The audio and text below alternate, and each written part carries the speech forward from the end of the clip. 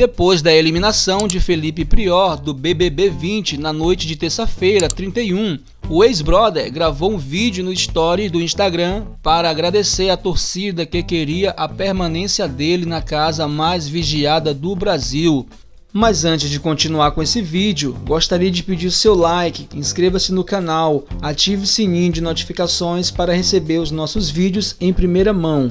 No vídeo, ele aparece no quarto do hotel só de cueca, agradecendo aos fãs. Confira. Fala galera, aqui é o Felipe Prior, participante do BBB. É, acabei de sair, cheguei no hotel. Estou muito feliz com todo o carinho de todo mundo. É, quero agradecer de verdade e agradecer todos os jogadores que fizeram uma puta de uma, de uma campanha aí para que eu ganhasse. Estou muito feliz, retribuir todo o carinho de todo mundo, todo mundo mesmo de coração.